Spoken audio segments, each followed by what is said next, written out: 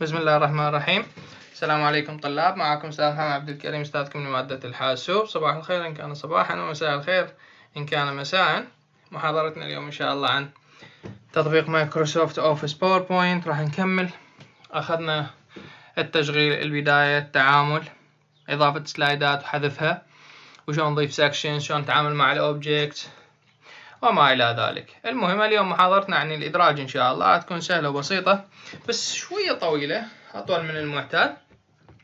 لكن إن شاء الله تعجبكم مثل كل محاضرة. نبدي بال insert طلاب. إدراج. أول شي عندي جدول صفوف وأعمدة. وأقدر أتحكم. كنت عملتم معنا قبل فهاي الأمور اللي ماخذيها راح أتعامل معها على السريع اللي هي ال shading ال border ال effects على نفس الجدول. ممكن أختار style معين لل table آه، وما إلى ذلك. المهم جدول عادي مثل ما كنتم تتعاملون معاه بالوورد. زين هاي بالنسبة للجداول. زين عندي insert picture مجرد أضيف صورة. مجرد أضيف صورة معينة. وهكذا. زين insert شنو عندي؟ screenshot آخذ لقطة الشاشة إما من البرامج اللي موجودة على ال taskbar هنا جوا. آه مثلا هنا عندي OBS Studio مو كل البرامج دائما تشوفها موجودة. هسه إذا أسوي minimize إيه مو كل البرامج يقدر ياخذ لها لقطة شاشة على كل ممكن أنت تقول screen clipping وتاخذ لقطة هيك بيدك على كل تنضاف لل presentation مالك. زين. هاي بالنسبة لل screenshot زين. عندنا شيء اسمه photo album new photo album اللي ألبوم صور. آه فمثلا أقول له هنا insert pictures from main تريد صور. الألبوم يحتاج أكثر من صورة بالعادة. فأقول له إدراج. هنا الصور مالتي أقدر أتحكم ترتيبها للأعلى للأسفل وما إلى ذلك. أقدر أضيف text box مربع نص قبل كل صورة بعد كل صورة مثلا صور سفرة خلي قبله هالشكل. ارفعه للأعلى أو يبدي العرض التقديمي مالتي وكذا. ممكن أخزنها كفيديو يصير عندي فيديو حلو عائلي. أو أصدقاء أو زملاء على كل. آه هنا عندي picture layout.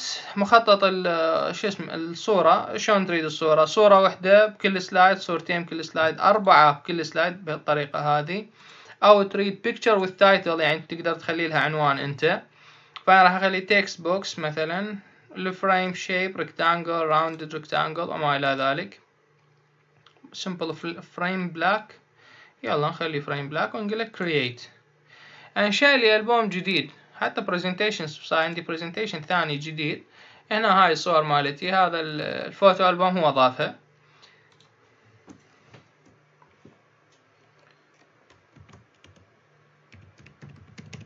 زين.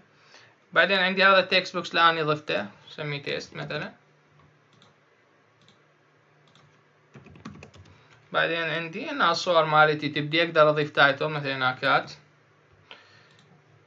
كوفيد 19 هنا عندي exam وما ذاك اضيف له. بعدين أبدي العرض التقديمي مالتي. وأنتقل بيناتها ممكن أخزنه كفيديو يتحرك تلقائيا هو يعرض لي الصور. وهكذا. زين ما احتاج هسه هذا ال photo album. اتصور وصلت الفكرة. شنو عندي بعد غير ال photo album؟ ال shapes اللي إدراج أشكال هاي تعرفوها. أشكال عندي كومة هنا. Equations flowchart stars ما أعرف إيش. المهم. icons آه هذه ما موجودة عندكم. هذه add-ins حكيت لكم عنها قبل. الباقين يعني إذا تحب تطلع عليها chart ال smart art بكيفك. زين. بعد شنو عندي؟ ال text box هاي دائما أداة مهمة كلش. لين تساعدني بالتنسيق ممكن أسوي أنا الكتابة مالتي أكثر من عمود. عمود كتابة هالشكل وعمود كتابة ثاني. أه فتترتب وتتنسق. بعدين عندي ال insert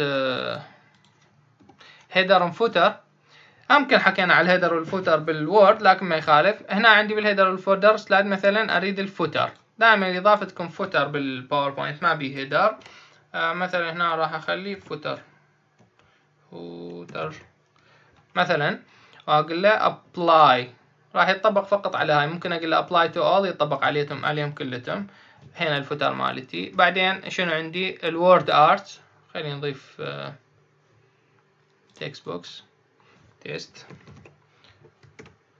نكبر الخط. نقول له word art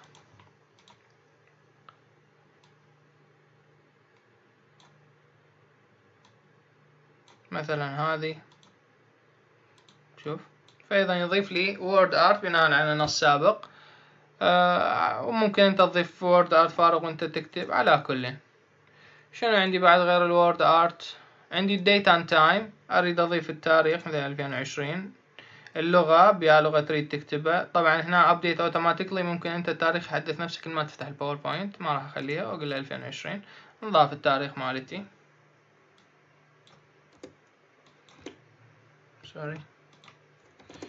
بعد شنو عندي؟ أقول له مثلا هنا بالش اسمه بالشريحة. أنا كنت داخل مربع نص. إذا أنا هسه بالشريحة ما مختار أي